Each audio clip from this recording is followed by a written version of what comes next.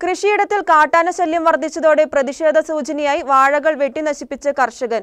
പെരുമ്പൻകുത്ത് സ്വദേശിയായ കുമ്പിളിവേലിൽ മനോജാണ് കാട്ടാന ശല്യത്തിൽ പൊറുതിമുട്ടി വനപാലകരുടെ മനസാക്ഷി ഉണർത്താൻ വേറിട്ട പ്രതിഷേധം നടത്തിയത്. തുടർച്ചയായി പെരുമ്പൻകുത്ത് മേഖലയിൽ ഉണ്ടാവുന്ന കാട്ടാന ശല്യത്തിന് പരിഹാരം കാണാൻ വനംവകുപ്പ് നടപടി സ്വീകരിക്കണമെന്ന ആവശ്യമാണ് കർഷകർക്കുള്ളത്.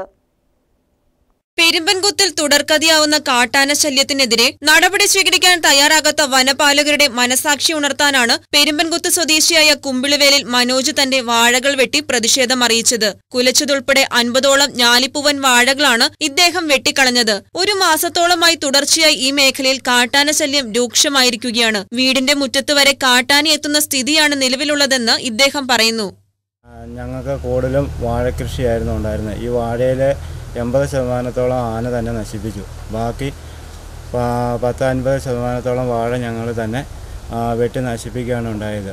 അതിൽ പത്ത് അൻപത് വാഴ കൊലച്ചതുണ്ടായിരുന്നു. ആ കൊലകളെല്ലാം ഞങ്ങൾ വെട്ടി കളയുകയാണ് ചെയ്തത്. നിരന്തരമായ ശല്യം കാരണം ഒരു രീതിയിലും ഞങ്ങൾക്ക് ജീവിക്കാൻ മേലാത്ത നടപടിയാണ് ഉണ്ടായത്.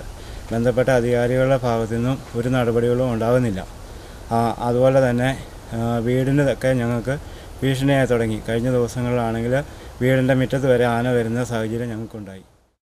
കൃഷിയിടത്തിലെത്തുന്ന കാട്ടാനകൾക്ക് പ്രിയം വാഴകളായതിനാലാണ് ഇത് വെട്ടിമാറ്റി ബന്ധപ്പെട്ടവരെ പ്രതിഷേധമറിയിക്കാൻ തീരുമാനിച്ചതെന്നും മനോജ് പറയുന്നു. ഒട്ടേറെ കർഷകരുടെ കൃഷിയാണ് പെരുംകുത്ത് മേഖലയിൽ കാട്ടാന നശിപ്പിച്ചത്.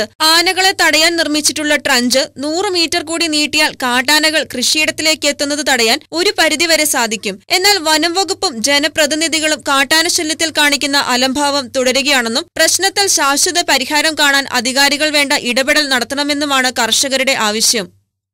News bureau Adimali